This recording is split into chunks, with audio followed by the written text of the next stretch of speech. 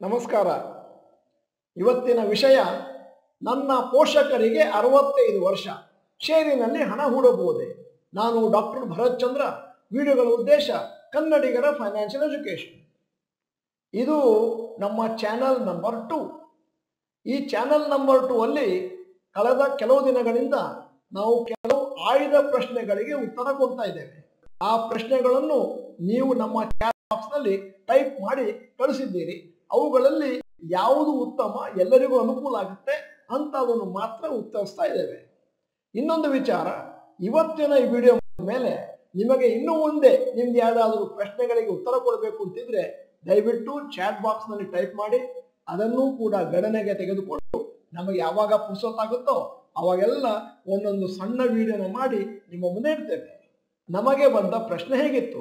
Sir, ನಮ್ಮ ಪೋಷಕರಿಗೆ ಈಗ ಅರವತ್ತೈದು ವರ್ಷ ಇಪ್ಪತ್ತು ಲಕ್ಷ ಸೇವಿಂಗ್ಸ್ ಅಕೌಂಟ್ ಅಲ್ಲಿ ಇಟ್ಟಿದ್ದಾರೆ. ಅವರಿಗೆ ಗೊತ್ತಿದೆ, ಷೇರು ಮಾರುಕಟ್ಟೆಯಲ್ಲಿ ಹಣವನ್ನು ಹಾಕಿದ್ರೆ ಜಾಸ್ತಿ ಪ್ರಾಫಿಟ್ ಬರುತ್ತೆ. ಆದ್ದರಿಂದ ದಯವಿಟ್ಟು ಅಮೂಲ್ಯವಾದ ಸಲಹೆಯನ್ನು ಕೊಡಿ. ಯಾವ ರೀತಿ ಈ ಫಂಡ್ ಅಲ್ಲಿ ಯುಟಿಲೈಸ್ ಮಾಡೋದು ಮತ್ತು ಷೇರು ಮಾರುಕಟ್ಟೆಯಲ್ಲಿ ಅದನ್ನು ಹೂಡೋದು ಹೇಗೆ? ಇಂತಹ ಪ್ರಶ್ನೆಗಳು ಬಂದಾಗ ನಮ್ಮಲ್ಲಿ ಹಲವಾರು ಗೊಂದಲಗಳು ಬರ್ತವೆ. ಉತ್ತರ ಕೊಡಲಿಕ್ಕೆ. ಮೊದಲನೇದಾಗಿ, ನಿಮ್ಮ ಬಗ್ಗೆ ಜಾಸ್ತಿ ಮಾಹಿತಿ ತಿಳಿದಿಲ್ಲ. ನೀವು ನಮ್ಮ ಚಾನೆಲ್ ಮೆಂಬರ್ ಅಥವಾ ಡಾಕ್ಟರ್ ಭರತ್ಚಂದ್ರ ಕಾರ್ಯಾಗಾರ ತೆಗೆದುಕೊಂಡಿದ್ದೀರಾ ನಿಮ್ಮ ಷೇರು ಮಾರುಕಟ್ಟೆ ಎಕ್ಸ್ಪೀರಿಯನ್ಸ್ ಏನಿದೆ? ಯಾಕಂತಂದ್ರೆ, ಷೇರು ಮಾರುಕಟ್ಟೆಯಲ್ಲಿ ನಿಮಗೆ ಏನೂ ನಾಲೆಜ್ ಇಲ್ಲ ಅಂತಂದ್ರೆ, ಹಣವನ್ನು ಹಾಕಿದ್ರೆ ಲಾಸ್ ಆಗುವಂತ ಚಾನ್ಸ್ ಇದೆ.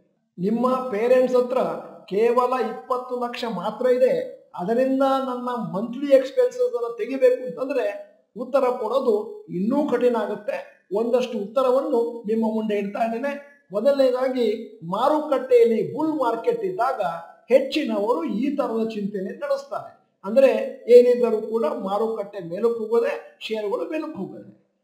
ಎರಡನೆಯ ಕಮೆಂಟ್, ನಿಮ್ಮ ಪೇರೆಂಟ್ಸ್ಗೆ ರಿಸ್ಕ್ ತೆಗೆದುಕೊಳ್ಳುವುದಕ್ಕೆ ಎಷ್ಟು ಶಕ್ತಿ ಇದೆ? ಯಾಕಂದ್ರೆ ಅವರ ಹತ್ರ ಇರೋದೇ ಇಪ್ಪತ್ತು ಲಕ್ಷ, ಅದರಲ್ಲಿ ನನ್ನ ಜೀವನವನ್ನು ಸಾಗಿಸ್ಬೇಕು, ಮಂತ್ಲಿ ದುಡ್ಡು ಬರಬೇಕು ಅಂತಂದ್ರೆ ಒಂದಷ್ಟು ಕಷ್ಟ ಆಗುತ್ತೆ. ಅಲ್ಲದೆ ಇಪ್ಪತ್ತು ಲಕ್ಷವನ್ನು ಕಂಪ್ಲೀಟ್ ಆಗಿ ಸ್ಟಾಕ್ ಮಾರ್ಕೆಟ್ ಅಲ್ಲಿ ಹಾಕ್ಲಿಕ್ಕೆ ಆಗೋದಿಲ್ಲ ಒಂದು ಮ್ಯಾಕ್ಸಿಮಮ್ ಅಂತಂದ್ರೆ ಹತ್ತರಿಂದ ಹದಿನೈದು ಪರ್ಸೆಂಟ್ ಅನ್ನು ಹಾಕಬೇಕಾಗುತ್ತೆ. ಮತ್ತೆ ಮಿನಿಮಮ್ ವೇಟಿಂಗ್ ಪೀರಿಯಡ್ ಐದರಿಂದ ಆರು ವರ್ಷ.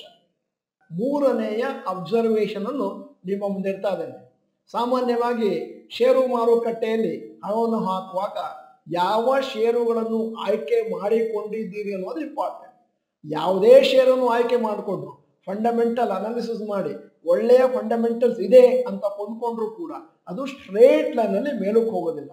ಆವಾಗ ಅವಾಗ ಒಂದಷ್ಟು ನೋಷನಲ್ ಲಾಸ್ ಅಲ್ಲಿ ಇರುತ್ತೆ. ಅಂದರೆ ಮಾರಿಕೊಳ್ಳದೇ ಇದ್ದರೆ ಲಾಸ್ ಆಗೋದಿಲ್ಲ, ಮಾರ್ಕೊಂಡ್ರೆ ಲಾಸ್ ಆಗ್ಬೋದು. ಈಗ ನಾಲ್ಕನೇ ಅಬ್ಸರ್ವೇಷನ್ ನಾನು ಆಗ್ಲೇ ಹೇಳಿದೆ, ನಿಮ್ಮ ಪೇರೆಂಟ್ಸಿಗೆ ಎಷ್ಟು ರಿಸ್ಕ್ ಅಪಿಟೈಟ್ ಇದೆ ಮತ್ತು ಅವರ ಮೈಂಡ್ ಸೆಟ್ ಹೇಗಿದೆ ಷೇರು ಮಾರುಕಟ್ಟೆಯಲ್ಲಿ ಹಾಕಿದಾನ? ಕೆಳಕ್ಕೆ ಹೋಗ್ತಾ ಇದ್ರೆ ಅದನ್ನು ತಡ್ಕೊಳ್ಳುವಂತಹ ತಾಳ್ಮೆ ಡಿಸಿಪ್ಲಿನ್ ಇದೆಯಾ ಅಂತ ಕೇಳ್ತಾರೆ. ಈಗ ಐದನೇ ಅಬ್ಸರ್ವೇಷನ್ ಷೇರು ಮಾರುಕಟ್ಟೆಯಲ್ಲಿ ಡೈರೆಕ್ಟ್ ಆಗಿ ಹಣವನ್ನು ಹಾಕಿದ್ರೆ ರಿಸ್ಕ್ ಬಹಳ ಜಾಸ್ತಿ ಇರುತ್ತೆ ಲಾಸ್ ಆಗುವಂತ ಚಾನ್ಸಸ್ ಇದೆ. ಆ ಥರ ರಿಸ್ಕು ನಾನು ತಗೊಳ್ಳಿಕ್ಕೆ ರೆಡಿ ಇಲ್ಲ ಅಂತಂದ್ರೆ ನನ್ನ ಸಲಹೆ ದಯವಿಟ್ಟು ಅವರ ಹಣವನ್ನು ಹೈಬ್ರಿಡ್ ಮ್ಯೂಚುವಲ್ ಫಂಡ್ಗಳಲ್ಲಿ ಹಾಕಿ ಆವಾಗ ಅವರೊಂದಷ್ಟು ಈಕ್ವಿಟಿ ಮತ್ತು ಡೆಟ್ಗಳಲ್ಲಿ ಹಂಚ್ತಾರೆ. ಮತ್ತೆ ಲಾಂಗ್ ಟರ್ಮ್ನಲ್ಲಿ ಏಳರಿಂದ ಹತ್ತು ವರ್ಷ ಇಟ್ಕೋತೀನಿ ಅಂತಂದ್ರೆ ಒಂದು ಹನ್ನೊಂದರಿಂದ ಹದಿನಾಲ್ಕು ಪರ್ಸೆಂಟ್ ವರೆಗೂ ಪ್ರಾಫಿಟ್ ಬರುವಂತ ಚಾನ್ಸಸ್ ಇದೆ. ಈಗ ಆರನೇ ಅಬ್ಸರ್ವೇಷನ್ ಅಕಸ್ಮಾತ್ ನಿಮ್ಮ ಪೋಷಕರಿಗೆ ಲಾಂಗ್ ಟರ್ಮ್ನಲ್ಲಿ ಹಣವನ್ನು ಹೂಡಿ ಲಾಭ ಮಾಡಲಿಕ್ಕೆ ಆಸಕ್ತಿ ಇಲ್ಲ ಶಾರ್ಟ್ ಟರ್ಮ್ ನಲ್ಲೇ ದುಡ್ಡು ಬರಬೇಕು ಅಂತಂದ್ರೆ ಅವರು ಟೆಕ್ನಿಕಲ್ ಅನಾಲಿಸಿಸ್ ಅಲ್ಲಿ ಎಕ್ಸ್ಪರ್ಟ್ ಆಯ್ದನ್ನು ಕಟ್ಕೋಬೇಕಾಗತ್ತೆ ಅವರು ಕೂಡ ಕಾರ್ಯಕ್ರಮ ಸೇರಬೇಕಾಗುತ್ತೆ.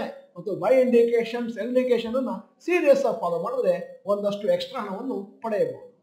ಏಳನೆಯ ಮತ್ತು ಪ್ರಾಮುಖ್ಯವಾದ ಅಬ್ಸರ್ವೇಷನ್ ಏನು ಅಂತಂದ್ರೆ, ನಿಮ್ಮ ಪೋಷಕರೇನಾದರೂ ಟೆಕ್ನಿಕಲ್ ಅನಾಲಿಸಿಸ್ ಅನ್ನು ತಾವಾಗಿ ಕಲಿಯುವುದಿಲ್ಲ ಅಂತ ಏನಾದರೂ ಹೇಳಿದ್ರೆ, ಅಲ್ಲಿಗೆ ನಾನು ಹೇಳೋದು short term is out of question video ಚೆನ್ನಾಗಿದ್ರೆ ದಯವಿಟ್ಟು ಲೈಕ್ ಬಟನ್ ಒತ್ತುವುದನ್ನು ಮರಿಬೇಡಿ. ಈ ವಿಡಿಯೋಗಳನ್ನು ನಾವು ಯಾವುದೇ ಫಲಾಪೇಕ್ಷೆ ಇಲ್ಲದೆ ನಿಮ್ಮ ಎಜುಕೇಶನ್ಗೋಸ್ಕರ ಮಾಡ್ತಾ ಇದ್ದೇವೆ. ನೀವು ನಮ್ಮ ಚಾನಲ್ ಮೆಂಬರ್ ಅಲ್ಲ ಅಂತಂದ್ರೆ ಇದೀಗ ಸಮಯ ಸಬ್ಸ್ಕ್ರಿಪ್ಷನ್ ಬಟನ್ ಬೆಲ್ ಐಕಾನ್ ಒತ್ತಿ ವಿಡಿಯೋನ ನಿಮ್ಮ ಎಲ್ಲಾ ಸ್ನೇಹಿತರಿಗೂ ಫಾರ್ವರ್ಡ್ ಮಾಡಿ. ವಿಡಿಯೋನ ಸಂಪೂರ್ಣವಾಗಿ ನೋಡಿದ್ದಕ್ಕೆ ಧನ್ಯವಾದಗಳು. ನಮಸ್ಕಾರ.